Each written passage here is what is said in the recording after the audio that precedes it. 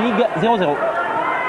Pas facile de réussir un bon résultat au stade Bonal à Sochaux. Pourtant, les Canois s'y sont attelés et leur premier but, marqué à la 17e minute par Ayash à la suite d'un double 1-2 avec Briou, est de toute première qualité.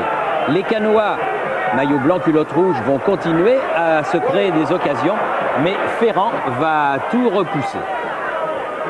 Dans les minutes qui suivent, Sochaux reprend le contrôle de la partie se crée des occasions, mais en face, il y a un autre bon gardien, c'est le maçon. Bref, la marque reste toujours la même, 1 à 0 en faveur de Cannes.